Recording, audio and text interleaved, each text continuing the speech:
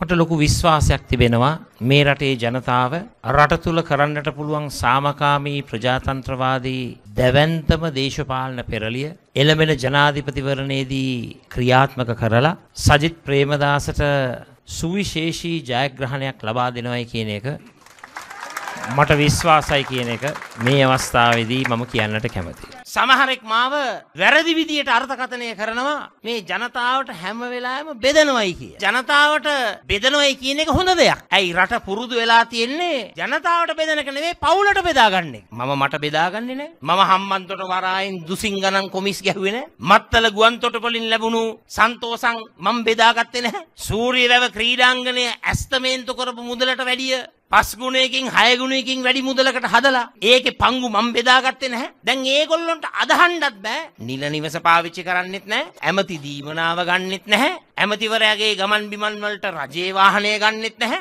ඒ පිළිබඳව තියෙනවා පුදුම ඊර්ෂ්‍යාවක්. හේතුව ඒ ඇත්තෝ බලයේ සිටින කාලේ එහෙම කරේ නැහැ. මිත්‍රවරුනි දැක්ක දැක්ක තැන මන්දිර. අනේ අම්මේ නුවරඑළිය ගියාමත් මන්දිර. නුවරට ගියාමත් මන්දිර.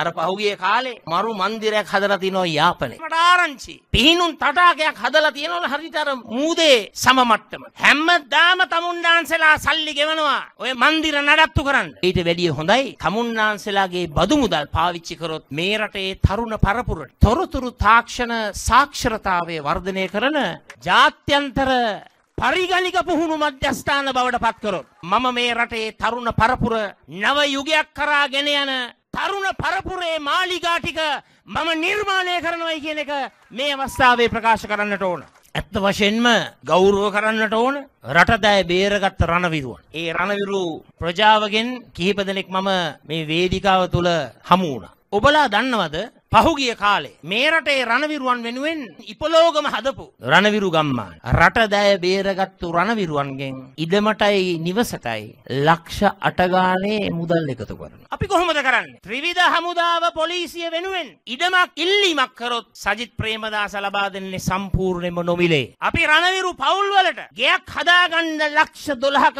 ආධාරයක් දෙන. වෙන මොනවත් නිසා නෙවෙයි. කෙලෙහි ගුණ දැක්වීම. මම ඔය තනතුරු වල läගගෙන යන්නේ නැහැ. එහෙම සින්නක්ක රොක්කුවෙන් රටේ අයිතිය ලියන මිනිස්සෙක් නෙවෙයි මම. මම එන්න ඕන කාලෙත් මම දැනගත්තා. යන්න ඕන කාලෙත් මම දන්නවා. මේ රට ජාත්‍යන්තර තලයේ සංවර්ධිතම ශක්තිමත් මාතෘ භූමියක් අපි නිර්මාණය කරනවාමයි කියන එක මම ඔබලාට පොරොන්දු වෙනවා. පක්ෂපාත බේදයෙන් තොරව මේ රටේ මිනිස්සු බලාගෙන හිටපු අපේක්ෂකයා අපි දැන් ඉදිරිපත් කරලා තිබෙනවා. ඕට්ටුවේ සීනයක් තිබුණා. සජිත් ප්‍රේමදාසට මේක ලැබෙන එකක් නෑ කියන හැඟීමෙන් ඔවුන් හිටියා. දැන් දන්නවා ආයේ මේ අපේක්ෂකයට ගහන්න අපේක්ෂකෙක් මේ ලයිස්තු වල නැති බව. දෝත දිග්ගෑරලා මිනිස්සුන්ට සලකන්න පුළුවන් යුගය පෙනි පෙනි තියෙන වෙලාවේ පොඩි මිනිහගේ යුගය අපි උදා කරන්නයි පෙළ ගහන්න කියන එක පෙන්වන්න අලියට කලින් කතරේ ගහන්න කියලා මම තමුන්නාන්සලගෙන් ඉල්ලනවා. මෙතෙක් ඉතිහාසයේ ලංකා ඉතිහාසයේ හරියට අතේ අයිඩෙන්ටි කාඩ් එකක් නැතුව ඡන්ද ඉල්ලන පළවෙනි මිනිස්සයා තමයි ගෝඨාභය රාජපක්ෂ. අපේ නායකයාගේ අප්පල ලේ තැවරිලා නැහැ. අපේ නායකයාට පිට රටවල් වල අයිඩෙන්ටි කාඩ් නැහැ, පුරවැසිභාවයක් නැහැ. අපේ නායකයා පැය 24ම ජනතාව වෙනුවෙන් වැඩ කරන නායකයෙක්. ඒ හින්දා අපිට දිනන එක සිහිනයක් නෙවෙයි. සජිත් ප්‍රේමදාස මැතිතුමා දිග කාලයක් නිවාස ඇමතිවරයා හැටියට උතුරෙත් දකුණෙත් මුළු මහත් රට පුරත් දුප්පතුන් වෙනුවෙන් පෙනී හිටියා. ලංකාවේ දිස්ත්‍රික්ක 13ක් අතිවිශිෂ්ට ජයග්‍රහණය ලබනකොට මේ ගාල්ල දිස්ත්‍රික්කයට හිමිකම් තිබෙන සජිත් ප්‍රේමදාස මැතිතුමාව අතිවිශිෂ්ට ජයග්‍රහණයක් ලබා දිය යුතුයි කියලා මම ඔබට සිහිපත් කරන්න කැමතියි.